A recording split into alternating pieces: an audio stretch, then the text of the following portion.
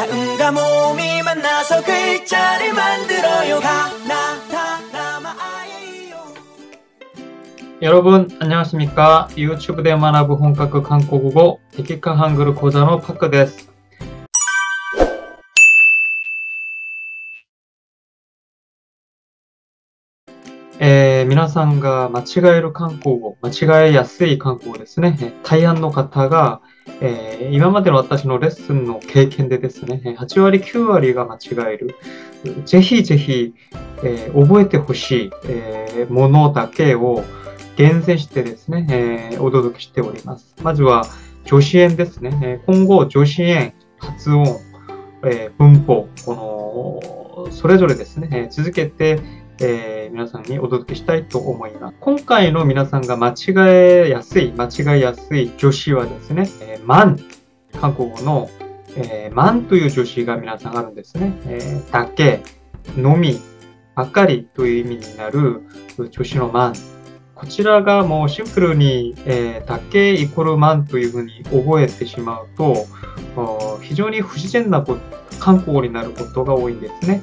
今回も、えー、初級から、えー、上級の方でもしょっちゅう間違える助詞のマンについてですね、えー、今回のクイズ形式で、え、解説したいと思います。では参りましょう。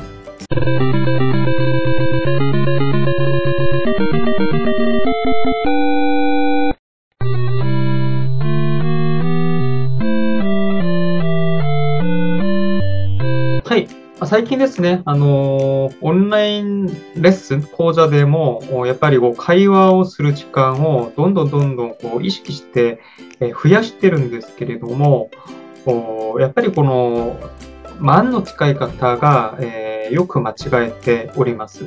一度だけ行きましたを韓国語で何て言いたいんですか？そして韓国語をどれほど話せるんですか？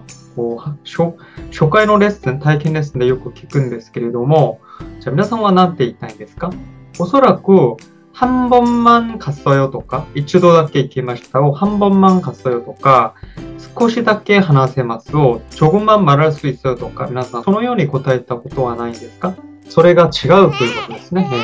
えー、じゃあ、ホワイトボードで詳しく説明いたします。じゃあ、韓国語助詞、えー、様々な助詞があるんですけれども、だけ、日本語のだけですね。えー、 韓国だと名詞プラス万という助詞がありますね。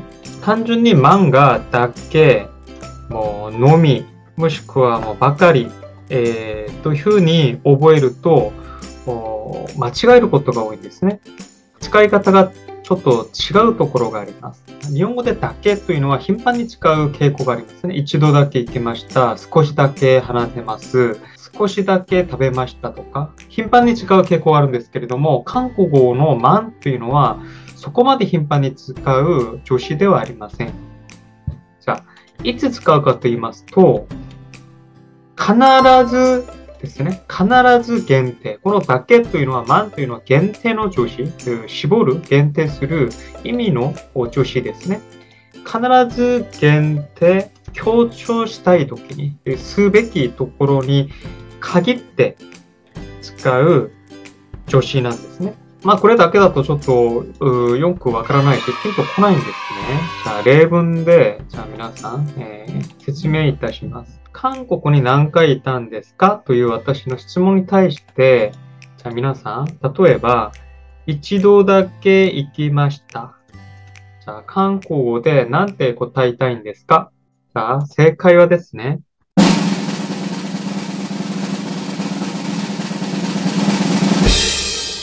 半번만갔어요というふうに答える方が非常に多いんですね。ここで、만はいらないはずですね。正解は半本갔어요が正解です。じゃあ、必ず限定、強調すべきところ。一度言ったことをそこまで強調する必要はないというのが韓国語の言い方になりますので、半本갔어요が正解です。じゃあ、韓国語どれほど話せるんですか 少しだけ話せます。じゃあ、韓国語で何でしょうか？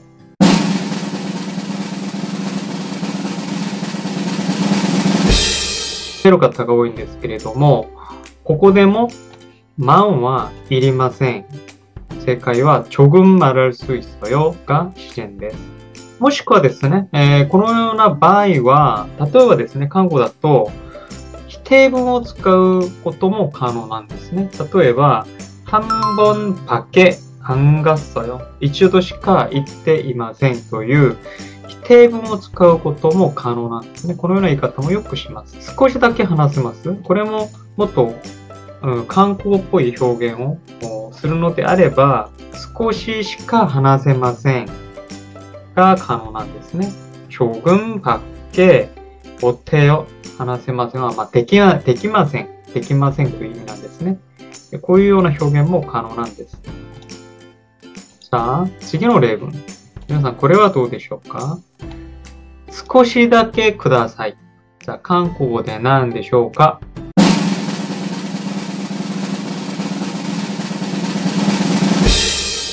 じゃあ、正解はですね、そのまま、만をつけて、조금만もくださいは주세요ですね。조금만주세요。皆さん、いかがでしょうか ここで満は正しいんですね。必要なんですね。何かをこう頼むときに本当に少しだけでもいいのでくださいというふうに強調したいんですね。なのでここでは満が必要なんですね。もちろん諸君主よでもいいんですけれども少しだけくださいというふうに頼みをするんですね。なのでここでは諸君万主よが、えー、自然なはずです。皆さん、えー、万の使い方、ちょっと分かってきましたでしょうか？次の例文。一度だけ許してください。じゃあ、観光で何でしょうか？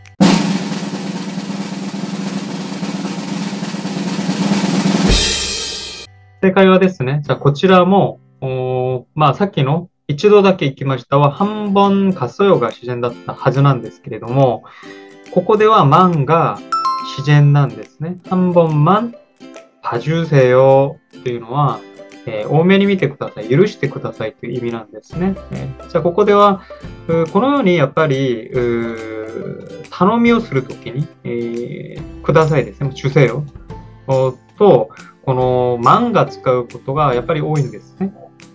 じゃあ、一度だけいいので、一度だけ許してくださいというふうに、えー、強調したいですね。なので、ここでは万が 自然な、え、使い方、正しい使い方になります。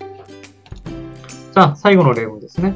私だけ行きました。じゃあ、これは万はどうでしょうか？皆さん、答えは韓国で何でしょうか？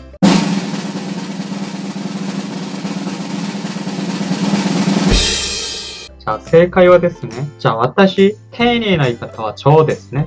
じゃあ、なもありますけれども、私だけは、超万活用が正解です。じゃあ、ここではどうでしょうか？本当に言ったのは、えー、唯一私だけ一人だということを強調したいですね。はっきり言いたいんです、ね伝えたいので、ここで万は必要なんですね。超万活動が正解です。